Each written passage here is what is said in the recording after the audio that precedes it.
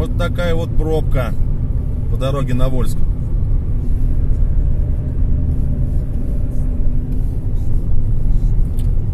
И еще не знаю, сколько она будет продолжаться. От самого поворота.